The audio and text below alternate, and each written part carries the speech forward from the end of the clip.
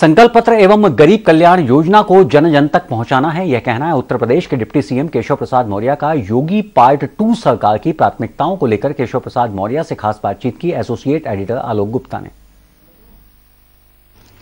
उत्तर प्रदेश के deputy CM Keshav Prasad Maurya ji हमारे साथ में हैं। योगी पार्ट टू में भी डिप्टी सीएम है। सहारा समय की तरफ़ से बहुत बहुत शुभकामनाएँ।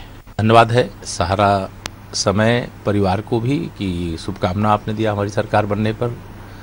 हमारी पार्टी की सफलता पर और हम भी आप सबका धन्यवाद करते हैं और आप सब लोगों ने बहुत योग्य ढंग से पूरे चुनाव प्रचार के दौरान अपनी जिम्मेदारियों का निर्वाह किया इसलिए आपका व्यक्तिगत तौर से भी अभिनंदन। धन्यवाद सर। सर एक सवाल केवल। कितनी बड़ी चुनौती है योगी पार्ट की? नहीं कोई चुनौती नहीं है। जब चुनौती तब होती है जब आप कहें कुछ और और करने की कुछ मन में बात और हो।